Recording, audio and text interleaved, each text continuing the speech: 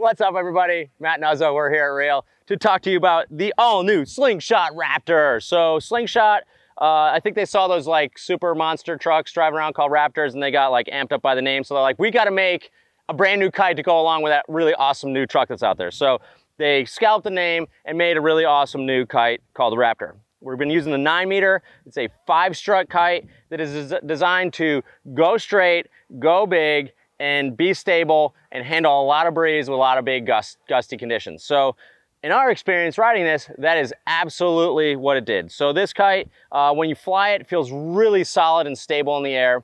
Um, a lot of times five strut kites feel heavy. This didn't feel heavy by any means. It didn't feel light, it didn't feel like a light, crisp little wave kite, but it felt like, oh yeah, I'm gonna get powered up on this kite and it's gonna handle every bit of that and have no problem.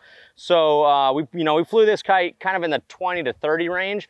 And even when we're hitting kind of the gusts into the 30s, like it still like felt like this is nine meters like it wanted more and it could handle more. So um, we got out there you know the ease of use of jumping is kind of the new thing in kites that go big because it's one thing to go big but you also want to know where you're going to land be able to do tricks and be able to come down with this. So this had a really actually nice bell curve style jump a lot of high jumping kites that go straight up and then you get lost in space because you're super high in the air and you don't know where you are and it's hard to land those tricks and then you just like catapult to the ground. This had a nice bell curve jump, but it was really kind of easy on that bell curve jump. Soft landings, came down easy, and I could feel where the kite was the whole time. It doesn't have, uh, you know, has just enough bar feel and bar pressure that you can actually feel where the kite is in the air when you're spinning around and trying to do tricks.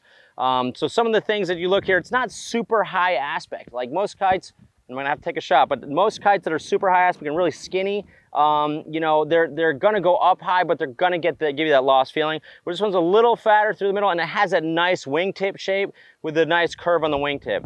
Again, I was expecting to have it ha uh, have a little more difficulty relaunching. I'm riding in a lot of breeze, but like no problem relaunching this kite. I think it's because that curve in the wingtip and that full fatter wingtip on this kite gives you that kind of smooth power through the landing. It still does go forward in the wind window, so it goes upwind well and gets you that, that, uh, that pop off the water. You can see that they worked on the, the aerodynamics of this kite because they really trimmed down the struts. Strut diameter is real skinny, so that normally means that it's gonna be, you know, like, uh, it's gonna have a lot less uh, air, air uh, dragging resistance. Also, leading edge is pretty skinny, so it can fly forward in the wind window. Again, but it doesn't make it twitchy or kind of awkward feeling. Um, the bridle system, straight up simple, just very easy leading edge uh, bridle system. And of course, they've got their famous split strut and one pump design, which, thank you, Slingshot. Split strut two awesome adds to the kiteboarding industry that we are forever thankful for. So the Raptor comes in a range of sizes. It's made for going huge. It's made for cruising back and forth it's really made for someone that wants to have a high performance kite that maybe was on the rally in the slingshot line and that was like, you know, uh, you know, I just want something more than the rally. I want something a little more juice, a little more frame, a little more stability.